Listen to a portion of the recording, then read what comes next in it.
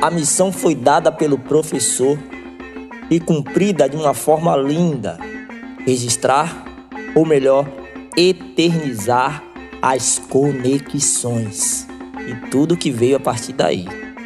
Um dos resultados foi Mafone, Oriqui da viagem. Brasil e Colômbia juntos de novo, dessa vez no Brasil, mas essa conexão existe há muito mais tempo. As semelhanças e as diferenças não foram meras coincidências.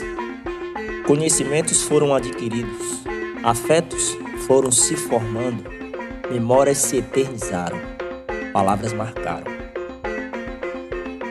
O poeta é fingidor, dor, dor, foi professor para lá e para cá.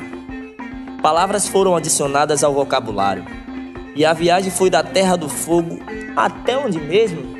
Até o, até o, até o, até o Canadá, até o, até o, até o, até o Canadá, até o, até o, até o, até o Canadá, até o, até o, até o, até o Canadá. Tá, tá, tá,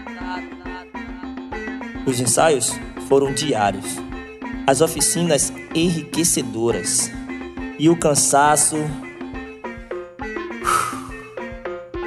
era muito visível em todos, mas o objetivo final era muito maior. Finalmente o espetáculo foi realizado de maneira linda, potente. O melhor é que não termina aí. Isso é só o começo. E quem registrou se sentiu totalmente conectada.